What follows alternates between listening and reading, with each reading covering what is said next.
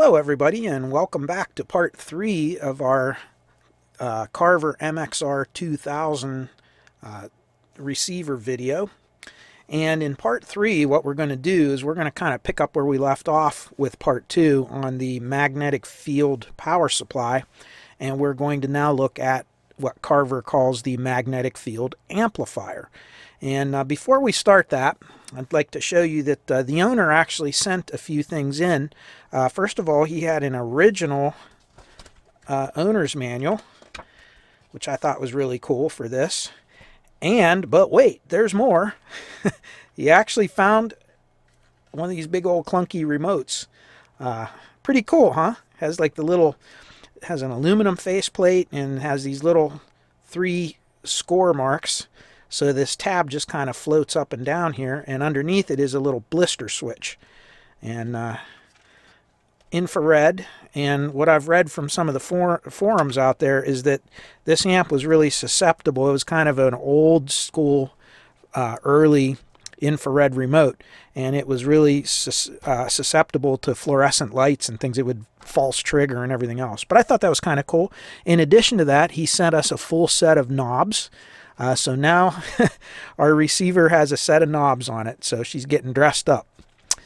Anyway, before we start on the amplifier itself, I wanted to, I just, I can't believe how many comments, questions, and how many emails I received uh, after doing part two of the video. Um, how many of you were really, really interested in the way the magnetic field Carver amplifiers worked. I was really kind of surprised by that, but I, am glad that it's something that uh, a lot of you found interesting. But uh, I thought that I should take a few moments here to address a lot of the questions and comments and things that I had um, regarding how the transformer works. Now, we talked a lot about the triac and all that, but let's get back to the basics of the transformer there's a lot of things, and I read them out there a lot. I read all kinds of conflicting things um, as I started studying this a little bit to learn more about it myself. And one of the things that keeps reoccurring is the fact that there that the transformer they use is some sort of a special transformer that uh, cannot work on mains voltages or anything like that. Well, that's only partially true.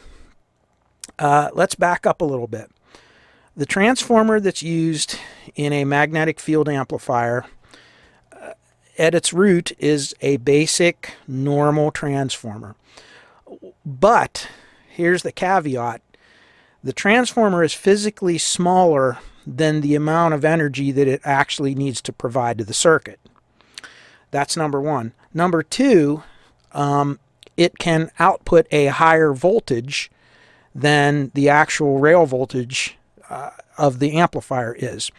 What I mean by that is that if we're looking for a 70 volt uh, power supply, the amp if, if you just connected the transformer up to mains voltage, it would actually output more than that, like 80 volts or 90 volts, whatever.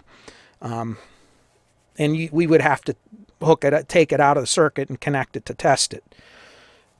However, as soon as you connect some sort of a big load to that transformer, it would saturate very easily because it really isn't designed to deliver the kind of current that uh, you normally would see. And the way they get away with that is by using pulsed, uh, pulsed voltage into it. And that's another thing I want to kind of explain how it works.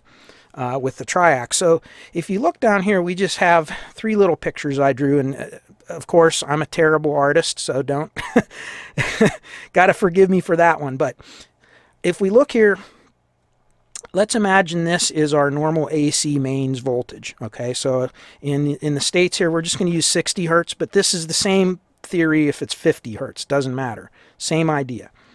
So if this is 60 hertz, that means that each half cycle is 1 120th of a second, or like 0.0083 seconds long. So it's very short time, but it is a fixed time. Okay, so from this point to this point is 1 60th of a second. Okay, or about 16.7 milliseconds. Now, on a normal transformer, this is what's going to go into the transformer, and this is the same frequency that's going to come out. It will be a sinusoidal waveform, and it will look just like this, only with a different amplitude based on if it's a step up or step down transformer. And we beat that one to death, so we all know that already. But what I want to really focus on is this, okay? So if we look here, we have the same waveform drawn here, but we're using our little triac circuit now. And the little dashed line here that I poorly drew represents the outline of our 60 hertz waveform. And the shaded in area represents the part of the uh, the part of this waveform that the triac is turned on and conducting. So at right at the time that this sine wave hits its peak, in this particular instance, we are turning on the, the triac. Now, because of that, your mains voltage coming in is sitting at its peak. And of course, at 120 volts, that's going to be roughly 170 volts uh, at that point because RMS voltage, of course, is 1.4 is uh, 0.707 of your peak voltage, and your peak voltage is 1.414 of your uh, RMS voltage. So if you take this times 1.4, you're going to come out somewhere around 170 volts. So on the primary winding of that little transformer, you are actually seeing from zero volts, you are seeing an instantaneous uh, presentation of 170 volts. And of course, because of the way a an inductor works, okay, Eli the Iceman, I don't know if any of you have ever heard that, but voltage leads current in, in an inductor. If we apply that voltage, that entire voltage will be present across that coil instantly.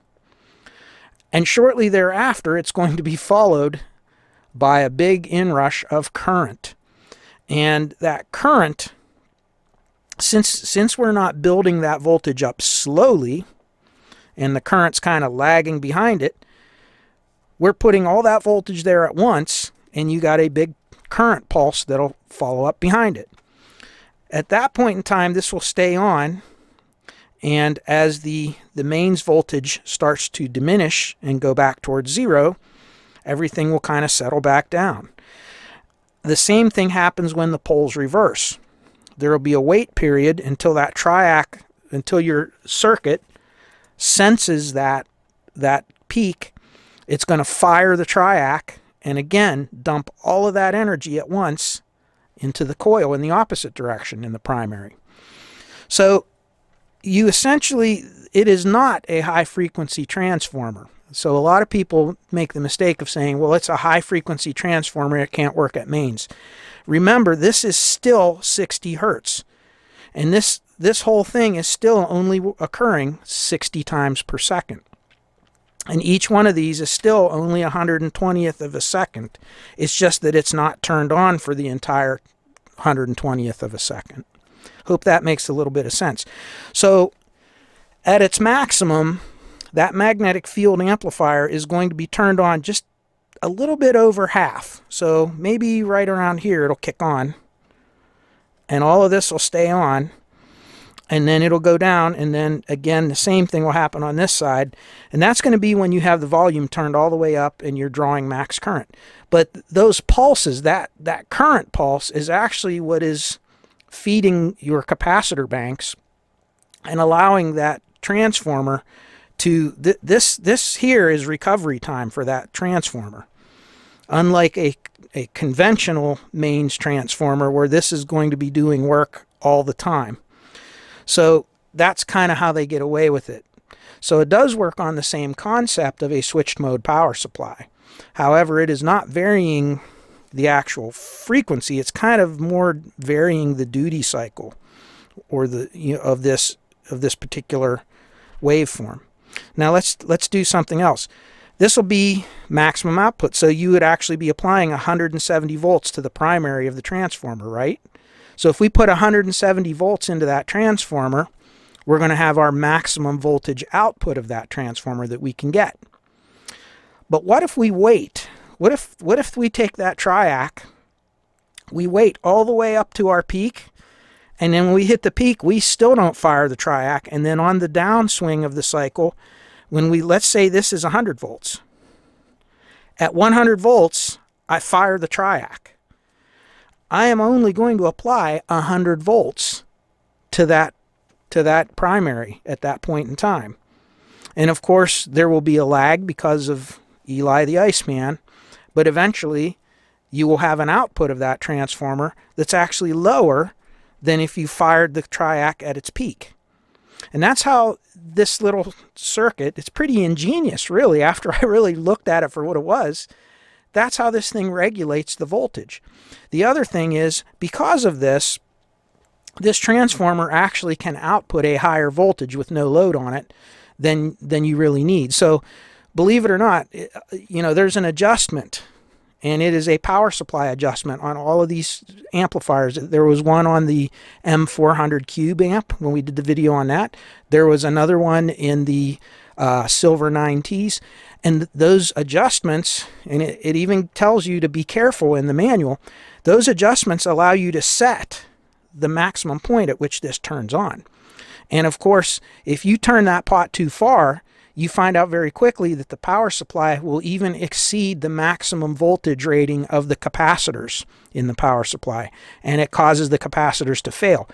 There's a lot of things I've read, and I, I was very skeptical about these amps when I started to learn about them because this is really this is only the third Carver amp I've ever worked on. You know, the, you saw the first two in my first two video series on Carver.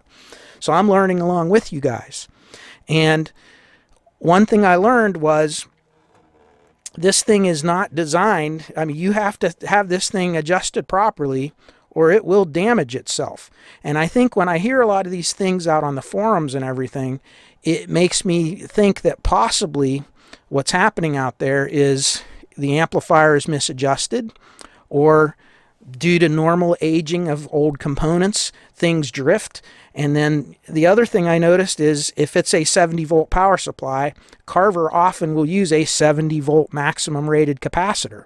And even though some capacitors have a little leeway to exceed their maximum rating, uh, it's still you're pushing you're pushing that component. So and then add to that the fact that it's misadjusted by 5 or 10 volts you can really cause damage. And of course, when a capacitor shorts, everything attached to it gets shorted with it. So uh, you have a lot of damage. So if these amplifiers are, the components are in good condition and they're properly adjusted, this circuit would work very well. And this is how it regulates by, and if you notice from our last video of the magnetic field amplifier, as I increased the volt or the uh, the volume on the amplifier and it started command demanding more current from the power supply. This started you saw this line you know because you would just see that line that looked like this. And then it would go over and then you'd see this. And then as we would as we would uh, turn the volume up on the amp you'd see this part here kind of creep over and over and over. And that's that's what was happening. It the triac was firing closer to the peak Okay? So I just wanted to clear clear that up with all of you of how this thing works. That's what it's doing. It's controlling when to turn this on. And as we said earlier in the first in the second video there, this is a self-extinguishing circuit. It can't turn off. You can turn this this triac on, but now you're you have to go along for the ride and you have to ride it all the way down to the ground here till we get to zero before it can turn off. So all that we're doing is controlling when we're turning the triac and the circuit on and letting it finish its cycle by itself. Okay? So I just wanted to take that little bit of time at the beginning of this video to clear that up. And I hope that helps you all out. Um, it definitely took me a while to get my mind wrapped around it because when you first look at something new that you haven't seen before, kind of takes you a while to figure it out. Um, if any of you have had any experience working with these and, and or worked for Carver or whatever and would like to put some comments, I'd love to hear them. I'm sure everybody else would. because uh, this stuff, at least to me, it's really interesting. I'm really enjoying learning this. All right, let's move on. Okay, we're now looking at the 30,000 foot view uh, of the amplifier section of our MXR 2000. And over here deals with um, all of our signal switching and all that. And we talked about this a little bit. This, the, for instance, this TC 9152 uh, integrated circuit, and this deals with your. This is this is an electronic switch that controls all your inputs. Uh, so you can digitally switch your inputs out without actually having a physical um, contact switch to switch the actual jacks to the input of the amp. So that's what this is. This is all signal switching and things like that. Look at all the op amps. uh, so that's what that part is. And of course, you know, your preamp, all those things. But really what we're concerned about is we we looked at this section last video, which is the power supply. We're now going to focus on this part of the amp right here, and this is your actual power amplifier. Uh, this is this is really where where all the uh, the magic happens for your speakers. So let's see if we can get a little bigger view of this and look at it a little more closely. Okay, I have a little bit bigger view of the amplifier section and you can see your, your right and left channels. Here's your two channels. And the real thing that I want to focus on, if you if you kind of just look at it at face value, right here, this just essentially looks like a regular class AB amplifier. You have your, you know, push-pull. You have your NPN section, which has your positive rail voltage. You have your your PNP tran output transistor, and that is your actually your negative rail voltage there. And then of course you have your current limiting resistors. And then this center part that I have marked in the pink marker, it eventually finds its way out through the little the little uh, network here and the Zobel network and over here into your relay, and this, is, of course, your protect relays, and that goes out to your speaker terminals. So this is your speaker output. And really, if we ignore all of this, um, it really kind of looks like a basic Class AB amplifier. But really, this is more than a Class AB amplifier, and of course, Carver is known for this, and contrary to popular belief, I'm starting to find out, and this was my first lesson, that not all of his amps are designed the same. Uh, a lot. I I was made to believe originally that all of his amplifiers worked off of the very same design, and he just scaled it up or down based on how many watts. But that's not entirely true. Um, I see two different types, classes of amplifier that that he uses, you know, the topology. And this circuit here is what makes it different, okay? And the two types of amplifier I want to talk about in this video that pertain to Carver amplifiers, and then we'll talk about the specific one used here, are two classes that are not very often heard of, called a Class G, G is in golf, and Class H, as in hotel. So Class G and Class H amplifiers aren't something that are commonly seen in your consumer grade stereos. Uh, most consumer grade stereos are very traditional design Class AB push-pull amplifiers. And normally you don't get into the Class G and Class H things until you get into pro audio, where the big concern becomes reliability uh, con conservation of, of you know energy, you know heat, uh, so they don't get hot, and uh, durability, and the ability to, to put out very very high power. Public address amplifiers that are used in concerts and things like that have to output a whole lot of power because you have to cover a very large area with sound. So let's first start by talking about the Class G and the Class H amplifiers. Okay, so the first part of the debate starts out with Class G and H getting a proper definition of them. Um, the more I tried to look up and research and get a definitive answer on what Class G and Class H amplifiers are, the more conflicting information I got. As a matter of fact, if you wanted to know, know a different definition for it, just go to another forum or another website and you'll get the opposite. Even good old reliable Wikipedia, when you go to their website on amplifier classes, has a big old note on there that says that uh, the uh, the information may not be accurate. So that's why I called this sheet class G and H, which is which. And at the end of the day, it doesn't really matter which one is which, just so you understand the differences and the similarities between the two.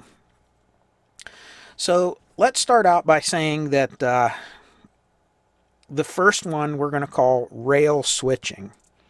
What do we mean by that? Well, let's take a look at a standard Class AB amplifier. Okay, we have a little uh, Pioneer amplifier schematic here, and this is just a really basic classic Class AB amplifier.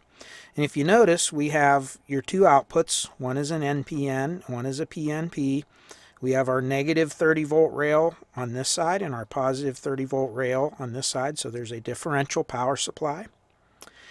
And if you notice right here, we have a potentiometer, and that's actually going to be our bias pot. And the reason we have a bias pot is, of course, with push-pull amplifiers, one half of, of the circuit will handle the positive going part of the waveform, and the other half will handle the negative going part of the waveform. The problem is there's a point in which that transistor will uh, be, both transistors will be turned off. And the, and the problem with that is for that little split second of time that, that the transistors are both turned off, there is no signal.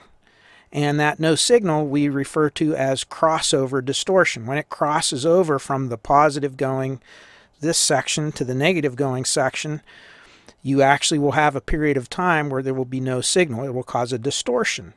So what we do is we add what's called a bias voltage. In other words, we never let these transistors completely turn off. They're both turned on just a little bit above their, their turn on point. And that keeps them from both being turned off at the same time. So there's going to be a very short period of time when this one hands off to this one that they're both going to be turned on at the same time. And that's what we call class AB. So right here, we see our waveform. Well, for a standard push-pull, you would have this Q8 up here would handle the first half, Q11 would handle the second half, but really this would not be an accurate signal. There would be a little bit of a gap right here and right here where there would be no signal. And that's called your crossover distortion. Whereas right here, those little dotted lines I put would be like your bias voltage so as this, this transistor is being turned off right here, it's moving into the section where this transistor is still turned on. Then it turns off, and then this one's already on, and it continues, and vice versa. So that's what Class AB is. That's how it works. And a Class H and Class G amplifier are the same thing. They operate in Class AB. Boy, I'm telling you, all these letters, huh? How confusing. But the truth of the matter is, don't, don't overcomplicate it. This is a very basic little amplifier. This is a Pioneer, I think this is like an SX 450 or 550 or something like that. You know, like a 20 or 30 watt amplifier. Nothing fancy, but even these great big ones work on the same concept. You know, they double up the transistors to handle more current. They put higher rail voltages. And really up until this point, the way that we had a made a more powerful amplifier is to put bigger transistors and higher rail voltages. And of course, because of that class AB, all of that stuff is turned on all the time, somewhat. So they're producing heat. The other thing is, at very low voltages, you have to basically you have to put that whole extra voltage across this transistor that's not going out to the speaker. So at low signal levels, you're dropping all of this rail voltage almost, except for a little bit going out to the speakers, into your transistors. So that's what class G and H were designed to deal with. So let's take a look at the first one. Okay, the first one we're going to look at is rail switching. And again, uh, class G or class H, it depends on what, what, what you look at. So you can call it either class G or class H. Um, just for, for uh, simplicity, let's just call this class G, which we refer to as rail switching.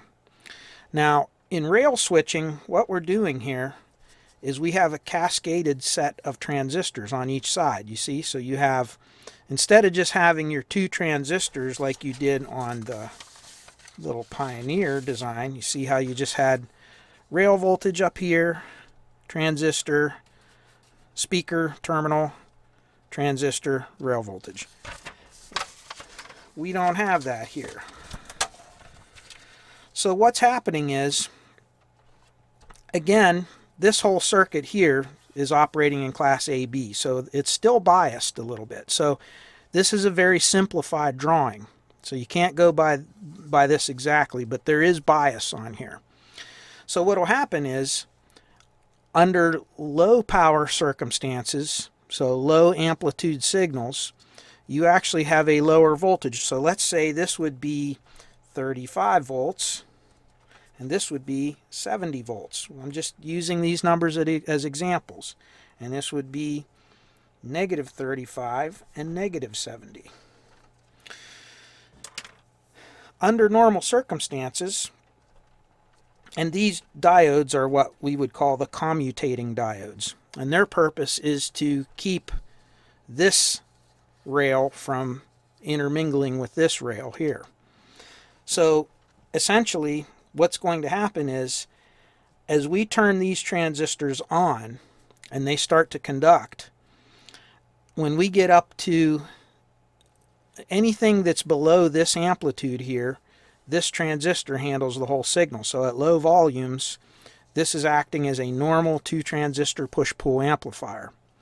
However, if we overdrive this and this goes up even higher, what ends up happening is that this transistor will begin to turn on. And it's turning on because if you look, we're looking at this feedback here from your, from your amplifier. These are avalanche diodes. And when we overcome that avalanche, which is set kind of to where this range is, this will begin to turn on and it will begin to apply this voltage down to here. When this switches, and it's very abrupt, when it switches, this point goes from being a 35 volt rail to a 70 volt rail. So there's no there's no waveform up here. It's either on or off. And this can switch very, very abruptly and very, very quickly. So anytime there's a loud peak, this will just pop on real quick. This voltage jumps up to 70 volts, and this is now becomes a higher power amplifier. Now, understand that because this is here, this transistor is not handling the entire load for that second. Um, it kind of splits between these guys. So it's it's a neat design and it's really in there that think about it when you when you're running low low amplitude signals this guy's turned off you don't have your 70 volt rail here so you're not dropping that great big amount across this transistor here. So that's how they're doing it. Now, if you look at the Carver, like the M400 Cube and the Silver 9T, they work in this, this very same manner. The only difference is they took it a step higher and they put a third rail. So there would be, you know, they have like a 25, a 50, and a 75 volt, or a 25, 50, and a 100 volt rail depends on the amplifier. The higher the higher the output of the amplifier, the higher your rails are going to get and the more stages you can get involved. And if you look over here, they're trying to give you kind of a representation of what's going on. So anything that's in the blue zone is being handled by this voltage and this set of transistors here. So this whole circuit can handle this. So think of this, if it was a low amplitude signal like this, this guy would never come into play. It would all be handled by the blue section. However, when we get beyond that avalanche threshold here, this guy trips on, this 70 comes down here, and now we have the expanded voltage around here. Now you can see where there could be a problem here. If, if these things don't switch fast enough, um, you can have a crossover distortion at this point. And conversely, if it doesn't switch off properly, you can have a cross another artifact in this section here. So um, this circuit has to work properly. You have to have careful component uh, design. It has to be biased properly. Everything has to be lined up properly or this doesn't work. It, it, will actually sound really bad. And what will happen is if you're getting these little crossover products, it will sound very harsh. Um, you'll still hear the amplifier and it will still get louder and softer. It's just that when it's going through this section, you're going to create all kinds of distortion artifacts that you're going to actually hear. So this has to be a well-designed circuit for it to work properly. And again, this is a very simplified drawing. All right. So I hope that clears up what that one is. That would be the, we're going to call this class G, which is rail switching. Now for the class H, I couldn't really find online a good representation without a big complicated circuit. So we're going to try something else here and I kind of see what we got. Now back to this rail modulation or class H type amplifier, I was unable to find a good circuit diagram to show as an example. Uh, most things if you look up when it when you call for class H they show the class G and if you look up class G it shows both of them will show up as just normally will show up as rail switching or this type of amplifier but the actual one that modulates the voltage without getting into highly complex circuits with MOSFETs and all kinds of op amps and feedback, you really can't find a simple block diagram of a Class H amplifier. Now, the reason I'm talking about all this is that it really took me a while to understand what's going on on this Carver 2000 amplifier because it is unlike anything that I've really ever worked on or seen. So let's take a look at this real quick. So here's a, a uh, close-up of one channel of the MXR 2000 amplifier. And I kind of tried to color code some of the signal paths to make it a little bit easier to follow. And if you look on the left here, or on the right here, we have our negative 50 volts. And then we have our positive and negative 70 volts. And then we have our positive 50 volts, which is right here, this purple wire. Or I'm, yeah, you have positive 50 and you have negative 50 is right here. So this is actually positive 50 right here. And this is negative 50. Okay. So if you kind of look at this first look, you have positive 70, you have a set of transistors, your positive 50 volts or 40, it actually reads in the 40s like 43 volts, 45 volts. Another set of transistors, and by the way, these are tied together. If you look, the collectors are tied, and the emitters are tied through these current limiting resistors. And then it goes down to your speaker terminal. So at first glance, this looks like a typical rail switcher amplifier. Until we do this.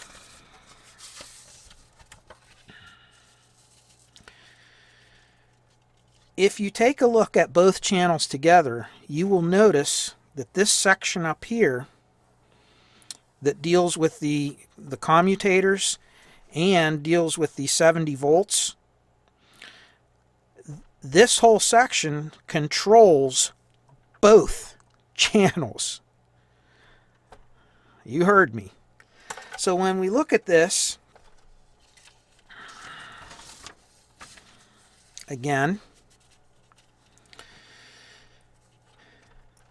these control up here, but they also go down here. If you notice, they go off the page, and the reason they, they go off the page is because they're going down to the other channel. So how does that work? Well, right here where I made these X's on here, it's kind of hard to see, but these sections are actually taking samples of both the right and the left channel. If either channel's amplitude goes up, this will go up with it. And there is no avalanche circuit, so it looks to me as this is somewhat of a class H in that it will modulate the voltage and it will raise the voltage, the available voltage of that switching rail to the highest channel, if that makes sense to you. So essentially what this is doing is you have one high voltage rail sharing the high voltage and, and modulating it based on demand of the highest of the two channels. Does that make sense? So as a normal class AB amplifier, you have your your two outputs here, okay? So you have a set outputs here and outputs here. And this is pretty simple and it's running off of the 43 volts. So you have plus and minus 43. But as the amplitude increases beyond that, it's actually going to turn this circuit here on and bias it up to allow this 70 volts to surpass the 43 volts and add to it and increase our rail here as needed. So is that a wild circuit or what? Now, this does not exist even on the expensive silver 9Ts. It doesn't exist on the on the cubes. Um, I don't. I mean, they were normal three three stage rail switchers, where you had a 25, a 50, and a 90 volt or 75 volt, depending on the amp. This is only done in two stages, and this stage here is shared common between the left and right channels. Isn't that wild? I thought that was, I just thought that was so cool. Um, again, it's still a rail switching in a way in that, uh, you know, that, that this, these can take over for these, but really that in another way, it's not because this isn't this isn't actually handling part of the waveform. It's just raising this rail voltage here based on demand. So this is more to me of a class H than it is a class G. I don't know. Um, I'm just going to tell you right now, this is kind of above my pay grade. And uh, I kind of understand what they're doing now. And I think it's really, really, really fascinating. But if any of you can shed more light on this, I mean, I'm more than willing to hear it because I would love to know more about this. Um, again, as far as innovation and doing something different and really pushing the outside of the envelope, I think this is doing it. so let's go back to here. And again, you can see that this circuit not only can feed up here, okay, this side, but it also feeds down here, this side. So, and it's tied in, these, these two transistors just handle the positive and negative 70 volts, and they're even tied together through these steering diodes. These are commutators as well, I guess you'd call them. And then you have these little 100 ohm resistors. one here and one here, and one of them ties into channel the channel first channel and the other one ties into the second channel. So it's actually taking samples from both channels and going into these drivers. And then these drivers are driving these big transistors. And these big transistors are adding voltage to this rail here upon demand. Now the thing is, if one channel is really loud and the other channel is really soft, both channels are still getting that extra voltage, but only for the period of time that some channel needs it. So now that we had a chance to take a look at this crazy thing, let's get the amp back up on the bench and let's take some measurements. I now have the dummy load connected to the uh, amplifier. So we have an 8 ohm dummy load back here. And I have the oscilloscope set up on dual channel. And you can see I have both traces set up. And actually, I have my times 10 multiplier on my dummy load. So actually this is reading 50 volts per division rather than uh, uh, 5 volts per division. And this is actual readout and we're connected just so I have that extra little level of uh, isolation. Uh, I'm just going to use the differential probe just to again we don't want to mix our grounds around through the scope. So anyway, channel 1 right now we're just taking a look right here at the output of the transistor. So this is essentially the same thing as the speaker terminals. So the signal should very closely or identically match the output across the dummy load. So let me get you zoomed in here if we can. And let's see here get some things straightened out here. Let me turn off some lights here. That's better. Okay, so as you can see, right here on the output, I'm at the top of this current limiting resistor, which is the same as right here, this point right here. And then I'm also looking at the speaker terminals. So go over here and we're going to just start at zero and we're going to run it all the way up to clipping, which is 200 watts per channel. So here we go. And I'm, let me turn the microphone around so that you can actually hear this amplifier because it's pretty impressive what this tr transformer sounds like. I, I would hope that the speakers would drown this out, but this would be really annoying to me any other way. Okay, here we go.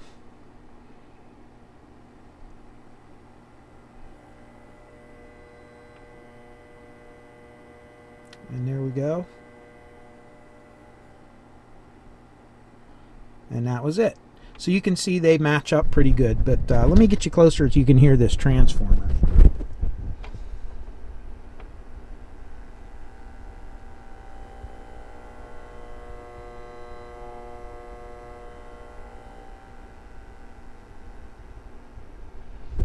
And you can hear there's certain parts where that actually quiets down and actual parts where it gets louder and then parts where you can actually hear it singing at the same frequency as the 1 kilohertz sine wave that I'm putting into the amp. Okay, now let's look at a different part here.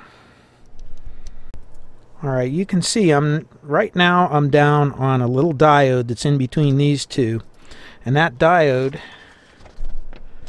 is right here this D 713. So what this is, is this is the input to the 70 volt rail and you, you're going to see how it works. So back here is where we're picking off the feedback from the output to the speakers. It comes into this little circuit here and it gets amplified through these transistors and then we're going to look at the actual drive signal here. Then we're going to go through and see the output of that 70 volt rail. So again, we're going to see what this looks like over here.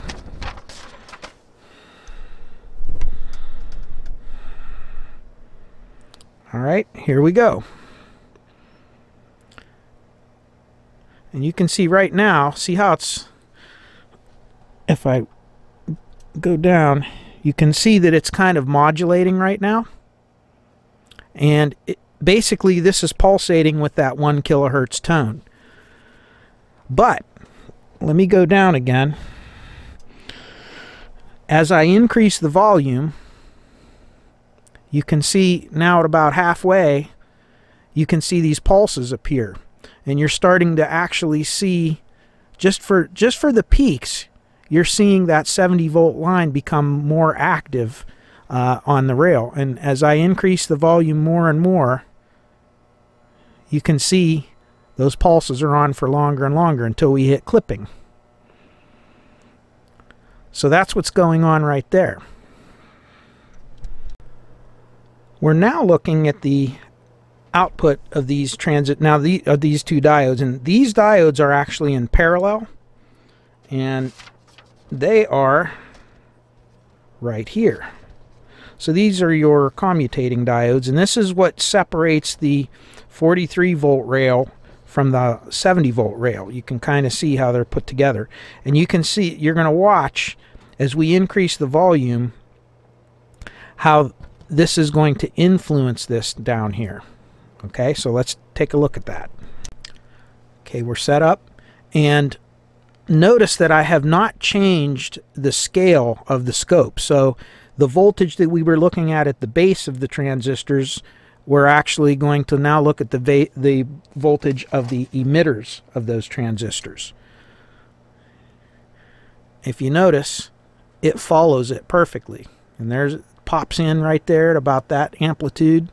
As we go up in volume, same thing. So it's the same signal. So really, what that's telling us is that the purpose for these transistors right here are actually for current, not for voltage. So this is this is a, pretty much a unity circuit right here. All of the amplification is being done back here.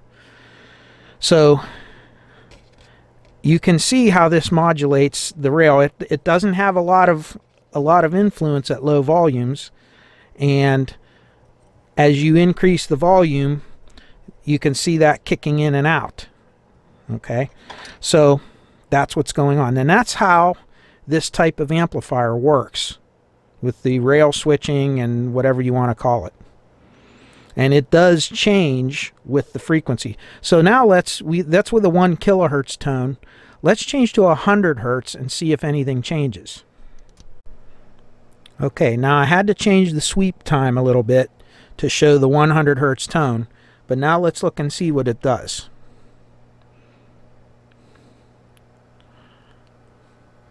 And you can see very quickly that the width of those pulses gets a lot wider because we're drawing more current at the lower frequency like that. So let's go even lower. Okay, I've moved my sweep time down a little bit further. We're at 4 milliseconds per division.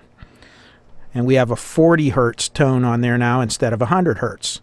So let's see what that, what that rail switching does at that frequency. And you can see how odd the, the waveform starts to get at low frequencies and see how quickly it pops open. And you can see so far very close to max power, you're not getting a lot of distortion. And right there you're starting to clip and you notice it's not clipping flat top anymore.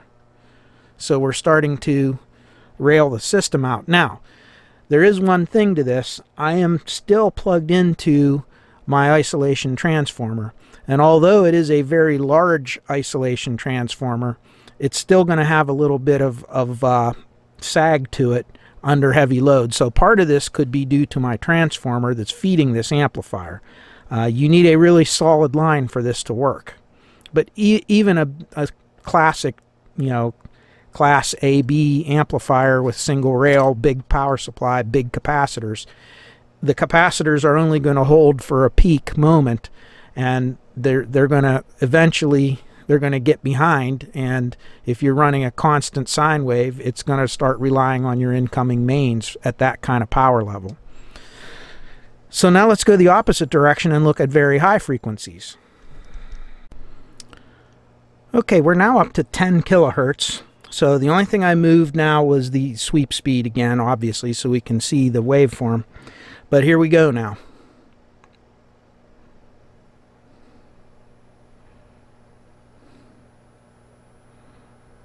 So there's our pulse. And you can kind of see what's happening here as we go up. It's actually oscillating. And this is a problem with these rail switcher type amplifiers. They really do not like high frequency. They work very well at low frequencies, but at high frequencies that rail switching can go kind of crazy. Now if you notice it didn't really too too much adversely affect the output to the speakers, but you can see that it's kind of going crazy up there. Let's go up a little higher in the frequency.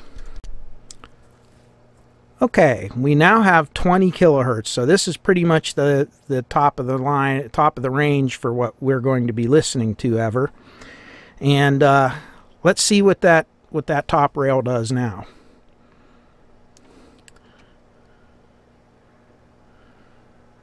And you can see it doesn't like it.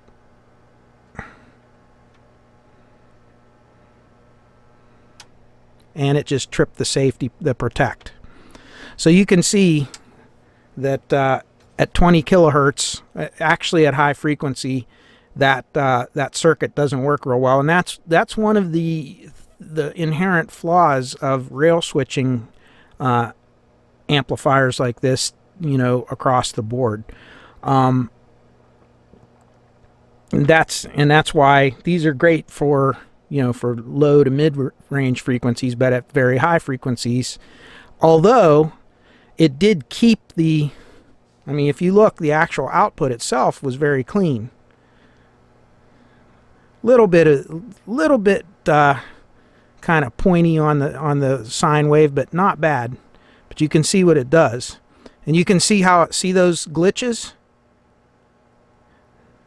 That's that is the the top rail kind of going into oscillation. So it really doesn't like that. So that just gives you a little idea of how this works. Now, of course, we could probably get that a little better by doing uh, by verifying the uh, the rail voltage on this because there is one pot that you can adjust for the rail voltages and it's kind of uh, it's kind of like a bias but it's not just a bias control I guess. And uh, it might make it a little bit better but at high frequencies you're going to see that happen. Although you notice it did hold its own pretty well there. So that's a little bit of how that circuit works. Let's uh, take a look a little further now. Okay, just for fun, we're going to put the mic next to the uh, transformer. We're going to kind of listen to that triac do its thing with the amplifier running at 10 hertz. Okay, so we can actually hear it switch. Here we go.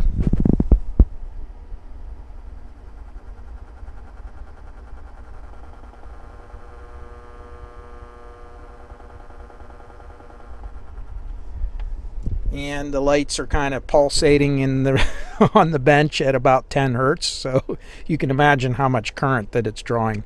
So anyway that's pretty much how this amp works. All right now that we've seen how everything works on the scope let's take a look at some of the components.